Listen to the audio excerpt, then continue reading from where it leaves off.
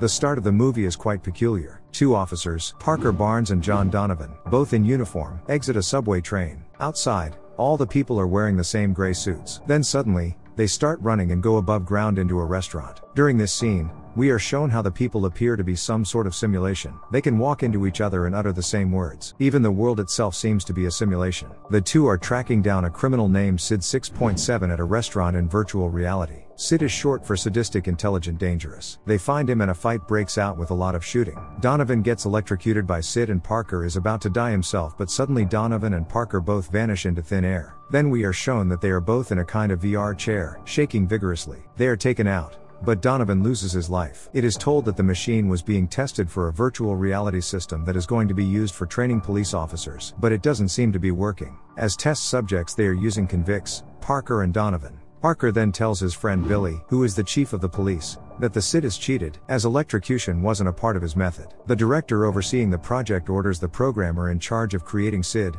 Dr. Daryl Lindenmeyer, to shut down the project. Parker is a former police officer imprisoned for taking down political criminal Matthew Grimes, who took away Parker's wife and daughter. Parker took out Grimes, but also accidentally shot two news reporters in the process. This led to him becoming a convicted and serving 17 years to life. Parker is taken back to prison where obviously everyone hates him, since he used to be a cop. He gets in a fight with a fellow inmate, then gets beaten up by the police and thrown in his cell. We are also shown he has a fake artificial limb for an arm. Back at the research facility, Dr. Lindenmeyer is talking to Sid on the screen. It seems he has real AI and consciousness. He accuses the Sid of increasing the neural calibration resulting in Donovan's death and tells him he is going to be shut down, to which Sid says, I will never be shut down with a rather creepy smile that sends chills down his spine. Parker has a meeting with a consultant Madison Carter for a reduced sentence. Madison is a renowned criminal psychologist working on a book. Back at the research facility, Lyndon Lindenmeyer, along with Sid has devised a secret plan. He talks to Clyde, a fellow worker, who has been using new nanobot technology called nanotech synthetic organism that can generate anything from the digital world based on their modules. The created creatures can further regenerate themselves from glass and as long as the module is inside them, they will live on. Clyde fancies Sheila 3.2, Sheila being another AI in the facility. Lindenmeyer tricks him by telling him to bring Sheila to life for his own pleasure but replacing Sheila's module with SID 3.7's. Clyde shows Lindenmeyer the new technology, an AI snake that has been brought to life. Clyde furthers cuts the snake in half but then brings it near glass. The snake quickly uses the silicon molecules to heal itself completely. Clyde informs Lindenmeyer that the snake will continue to heal itself and be immortal as long as it has glass nearby. The only way one can destroy it is to get rid of its module from its head, which he does. Soon, Sid hatches himself out of an egg of nanotech and takes out Clyde instantly. Lindenmeyer, seeing the madness of his creation runs away and disappears. Sid escapes the facility. Parker, being one of the best cops and knowing how Sid thinks, is brought out to find Sid and terminate him. He will be given a pardon if he accomplishes it. He gets infused with a tracker in his body, which also contains a neural toxin in case he tries to escape. Madison blackmails the cops to let her go on the mission with Parker, otherwise she'd tell the public about the incident. Parker is clearly not happy with the idea but must abide by it. Together they leave off to catch Sid. Meanwhile, Sid has started his streak of murders by starting with a couple. He sprawls red liquid all over the walls, copying the famous criminal Charles Manson and appears to have also armed himself with the guard's gun. Parker and Madison arrive at the scene to find no evidence left behind. Dr. Lindenmeyer is scared to death and has hidden himself in a motel room. Parker and Madison head off to Lindenmeyer's office to find any clue of where Sid may be. They search through his laptop and find that Sid is made up of more than 200 personalities. Lindenmeyer had to create him and build him up, and all the personalities rage inside of Sid. Matthew Grimes,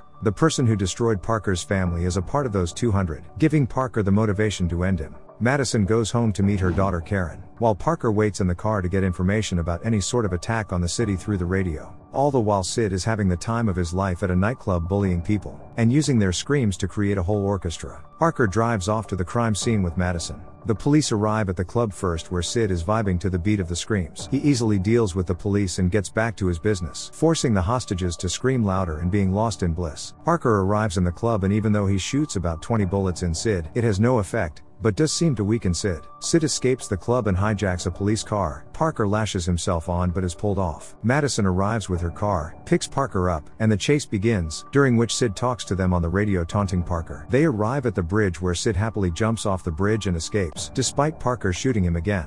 Parker has utmost belief that Matthew Grimes is the dominant personality in Sid, as he was taunting him just like he used to. He warns them that Sid will try to attack areas with lots of people and huge media coverage, just for the attention. Even though this kind of behavior was not part of Sid's programming, he seems to be evolving. Sid makes his way to a street market where he takes out another victim and watches on a TV that an Ultimate Fight Championship is being conducted in an Olympic stadium nearby. As targeting public places is his favorite, he makes his way over there. He starts off by harassing a girl and takes out her boyfriend by throwing him all the way down the stadium using brute force. A guard shoots his hand off with a shotgun but he pays it no heed and directly jumps into the ring. Parker gets to the stadium as well through a clue in a video that Sid filmed at the market. As soon as Sid spots Parker, he starts running and escapes the stadium. Sid gets on a train and takes a woman hostage. He has a gun pointed at her and warns Parker to not shoot or chase him, reminding him that this isn't a video game. Parker still shoots and Sid takes out the woman, throwing her off the train. The train leaves with Sid and a kid waving goodbye at Parker creepily. As a result of the woman's death, Parker is the one who is accused of the murder. Even though 50 people had seen it happen, they witnessed Parker shooting the woman. Parker, despite pleading to his friend Billy, is sent away on a police vehicle. Along the way, Parker gets flashbacks of his past and we are told of his story. Matthew Grimes was a political criminal. Parker, being a cop, was in charge of catching him and was very close to doing it. To stop Parker's manhunt, Grimes kidnaps his wife and daughter and keeps them locked in a room with a ticking time bomb. As Grimes is being interviewed by two reporters that were brought in, Parker also finds his family and tries to rescue them. But as soon as he opens the door to free them, a laser detection sensor causes the alarm to go off, destroying them. Parker doesn't die and gets his revenge by destroying Grimes and his associates. Fueled by rage and fury, he does not think straight and suddenly turns around and shoots the reporters as well when they make a sound behind him, mistaking it for danger. In the present world, the police truck stops after the drivers are liquidated and Sid enters it. He tells Parker how Grimes oozes to the surface as soon as he sees Parker's face. He frees Parker and escapes, trying to frame him for the murder of the guards, and also discloses that the tracker in Parker contains a toxin which could be released via satellite. He is messing with Parker's head and enjoying it. Parker calls Madison and tells her he didn't eliminate the guards. Parker further reveals that Sid just likes to mess with his favorite opponent, Parker. She asks him where he is, to which he replies I'm with my family and hangs up the phone. He goes to their graveyard and awaits certain death by the poison release. Madison calls Billy, informs him about the neural toxin and that the officials are about to release it. Billy storms in the room and breaks all of the system apart preventing their release. Madison leaves her house to find Parker. As she leaves in her car, Sid appears in a van dressed as a worker outside her house. Madison encounters Parker who tells her that Sid's appetite is only going to grow larger, and he is going to need a bigger audience. Havoc and chaos is created across the country with people calling for closing of borders to prevent the wrong accused Parker from escaping the USA. During this chaos, Sid takes control of a broadcast office and starts his own death TV.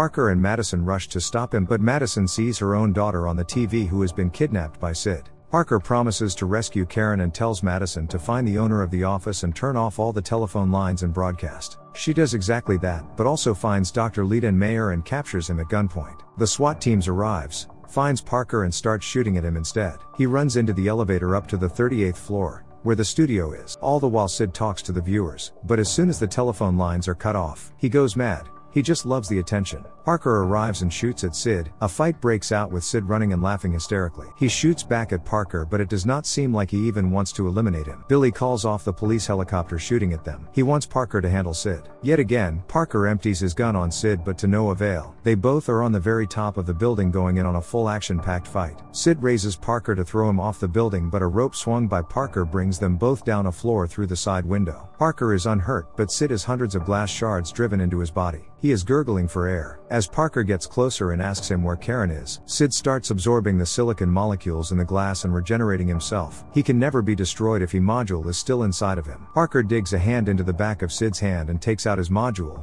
ending him. But Madison appears with Lindenmeyer at gunpoint and they all realize there is no way to find Karen without Sid. There is a huge shift in the events of the movie. We are taken back to the rooftop, but this time when Sid lifts up Parker, he actually throws him down all the stories. His body falls down and the red liquid flows out, but Parker doesn't die and the red liquid seeps back out. We are shown that Parker and Madison are in the VR now, without Sid knowing it. They want to extract the information from him about Karen's location. Lindenmeyer is controlling the VR and seems to be helping them with Billy overlooking him. In the VR, on top of the rooftop, Sid is talking with Madison who is constantly pleading him and asking for Karen's location. He suddenly knocks one of the huge roof exhaust fan cylinders and tells her Karen had been here all along. Suddenly Parker appears, unhurt and undead. That is when Sid realizes he is back in the VR. Billy tells Lindenmeyer to get them both out of it. He gets Madison out, but then suddenly attacks Billy and eliminates him. He increases the neural sensitivity drastically and is planning on melting Parker's brains. Madison however fights Lindenmeyer grabs a gun and eliminates him. She then releases Parker and together they go to rescue Karen. As Madison tries to open the hatch, Parker knowing better stops her and tells her it is probably booby trapped. He enters from the top by stopping the fan with his fake limb and finds pressure plates, lasers and all kinds of shenanigans that Sid had pulled off. He also leaves a small display screen which tells Parker that his end is near and whenever Parker tries to stop the bomb, Sid comes mocking him. Parker uses a wire from his fake limb and is finally able to stop the bomb. The end causes some serious anxiety because the timer keeps going down and Parker thinks he has failed. Luckily, he was able to loop the timer. The movie ends with Madison reunited with her daughter and Parker standing on top of the building, throwing Sid's module down, which shatters to pieces.